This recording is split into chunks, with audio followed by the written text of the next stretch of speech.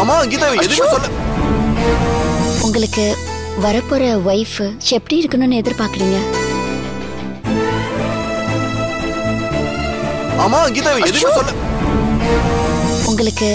வரப்போற வைஃப் எப்படி இருக்கணும்னு எதிர்பார்க்கறீங்க